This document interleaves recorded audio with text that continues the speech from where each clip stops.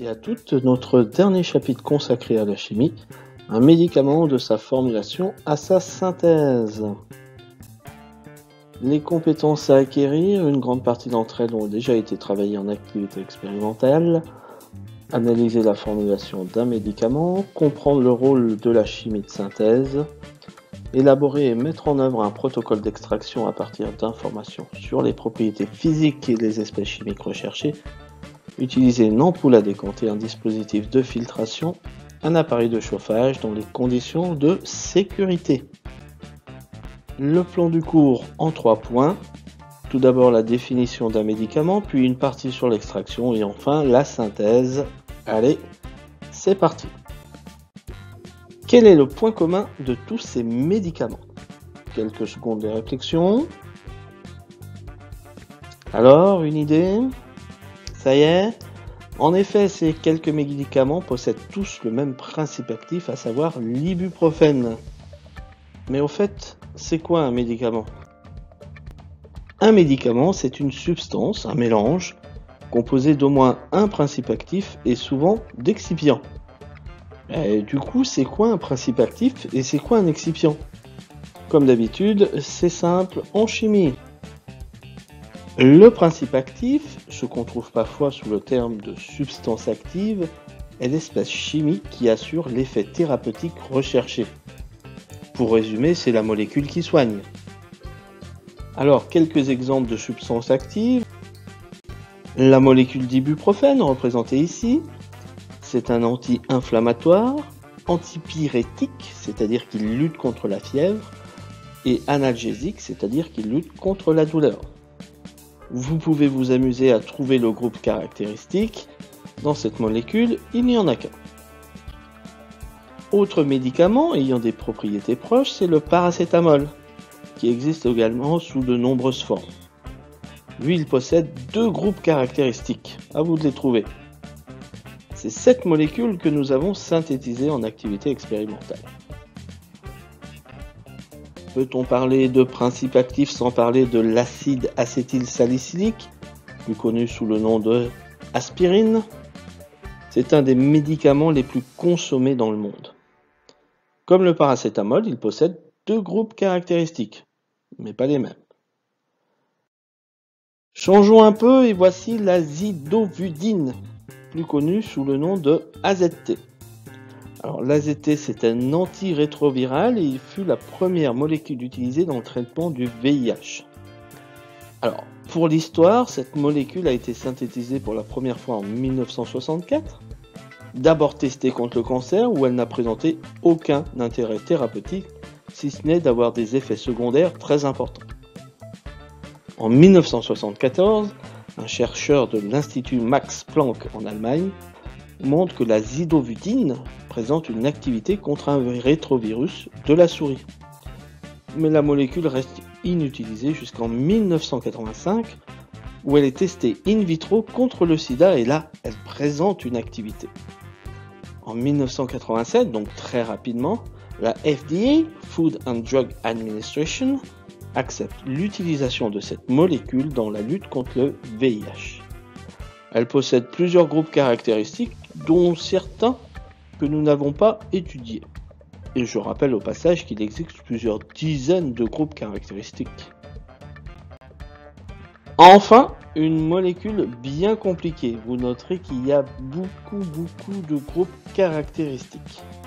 C'est la streptomycine qui est un antibiotique. Alors un antibiotique, c'est une substance qui est efficace contre les bactéries, mais pas contre les virus. La streptomycine ici est ce qu'on appelle un antibiotique à spectre large, c'est-à-dire efficace contre de nombreuses bactéries. je ne vais pas citer toutes les bactéries, je, déjà je ne suis pas médecin, c'est pas l'objet de la vidéo. Alors, par contre, il est intéressant de noter que cet antibiotique fut le premier découvert en 1943 contre la tuberculose, maladie qui faisait à l'époque des millions de morts et qui fait encore chaque année un million et demi de morts. Il existe, entre parenthèses, un vaccin contre la tuberculose, c'est le BCG, ce qui explique le faible nombre de cas en France. Cet antibiotique est également efficace contre la peste bubonique ou la peste pulmonaire. Alors pour la petite histoire, la streptomycine est isolée en 1943 par Albert Schatz, qui est à l'époque étudiant. Mais c'est son professeur Selman Waxman qui va tirer profit de cette découverte en recevant le prix Nobel de médecine en 1952. ce n'est pas la première fois que ce genre de mésaventure arrive à des étudiants. Nous avons vu ce qu'était un principe actif, autre composant d'un médicament, l'excipient.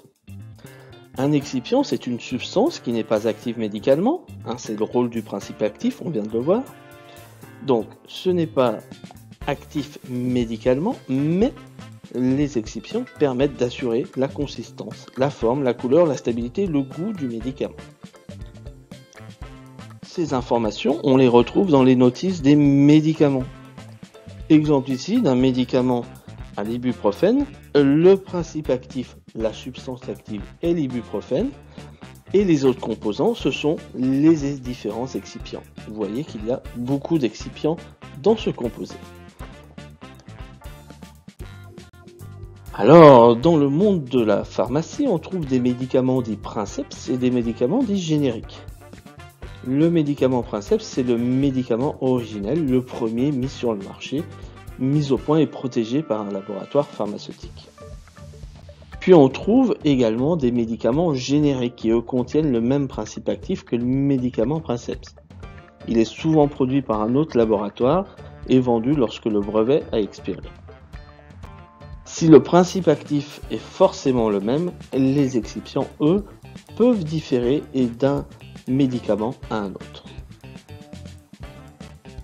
Le fait de choisir des excipients, de choisir la forme galénique du médicament, c'est ce qu'on appelle la formulation. Il y a des tas de formations pour devenir technicien ou ingénieur formulation, ce n'est pas l'objet de la vidéo. Mais c'est un vrai travail de mettre en forme les médicaments. J'ai parlé de forme galénique sans l'expliquer. Alors, la forme galénique, c'est la forme sous laquelle est distribué le médicament. Je ne doute pas que vous avez déjà pris des médicaments au moins une fois dans votre vie et que vous savez que la forme d'un médicament peut être très diverse. Présenté sous forme solide, comme un cachet. Ça peut être également un comprimé, effervescent, également par exemple pour faciliter la dispersion et la dissolution du principe actif solide, ça peut être une gélule ou des granules qui sont faciles à ingérer. Mais tous les médicaments ne se présentent pas sous des formes solides. On a également des médicaments sous forme liquide, en crème ou en pommade, s'il faut l'appliquer sur la peau notamment. On peut également les trouver en collier, notamment pour les yeux. Hein Essayez de mettre un cachet sur les yeux, c'est pas très pratique. Pour les enfants notamment, il est souvent plus facile d'administrer un médicament sous forme d'un sirop, qui est une solution homogène, ou une suspension buvable, qui est en fait des particules solides dans une solution. Et sous cette forme galénique, c'est facile de jouer sur le goût, sur l'odeur, pour rendre le médicament appétissant. Si on peut dire appétissant. Toujours liquide mais un petit peu moins plaisant qu'un sirop, c'est la solution injectable. Forcément, cette forme galénique de médicament demande une piqûre. On peut trouver également des médicaments sous forme de suspension gazeuse, c'est le cas d'un spray, également sous forme d'un atomiseur. Donc toutes ces formes galéniques, le spray et l'atomiseur, sont adaptés pour l'administration de médicaments pour les voies respiratoires. Alors il existe de nombreuses formes galéniques avec leurs avantages propres, leurs inconvénients, mais ce n'est pas l'objet de la vidéo. La question c'est d'où vient le principe actif Alors pendant très longtemps, il a été extrait de la nature, et forcément c'est ce qu'on appelle une extraction. Extraire une substance d'un mélange, qu'il soit naturel ou artificiel. C'est ce qu'on fait tous les jours quand on prépare un bon café ou un thé. Quelques exemples de techniques d'extraction, nous en avions mis en œuvre en TP. Nous pourrions passer de nombreuses séances à s'amuser pour faire des extractions. Alors, l'extraction, solide liquide, comme par exemple l'infusion, dans lequel on utilise un solvant chaud et un solide duquel on veut extraire un ou des composés. On a également la macération. Cette fois, on va utiliser le solvant à froid. Ou encore la décoction. Ou comme l'infusion, on utilise le solvant chaud, sauf que durant la décoction, le mélange est chauffé continuellement. Petites extractions, industriellement, on a le même principe en un peu plus gros. Ici, on fait du thé en quantité industrielle pour les boissons de thé glacé. Autre technique, l'hydrodistillation. Un ballon dans lequel on met de l'eau et un solide, souvent des fleurs, et on chauffe le tout et on récupère les vapeurs après condensation dans un Erlenmeyer. C'est souvent utilisé pour extraire des huiles essentielles, ici l'huile essentielle de lavande. Ces huiles n'étant généralement pas miscibles à l'eau, on récupère dans l'Erlenmeyer deux phases, une phase aqueuse et une phase organique on a évidemment la version industrielle qui est toujours très utilisée, notamment dans le sud de la France, dans la région de Grasse, qui est très réputée pour ses parfums.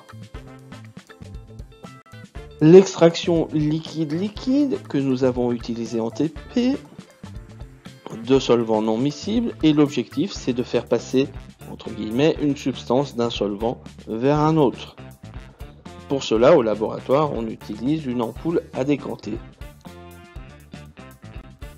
et également, il existe les versions industrielles ou semi-industrielles de l'extraction liquide-liquide. Et dans le cas ici, elles peuvent même fonctionner en continu. C'est quand même beau la chimie. Ensuite, on peut même utiliser des gaz pour faire des extractions. C'est le cas du CO2, avec notamment l'extraction de la caféine du café pour faire du café décaféiné. Ce procédé s'est beaucoup développé dans les années 70. On utilise du CO2 sous haute pression pour le rendre ce qu'on appelle supercritique.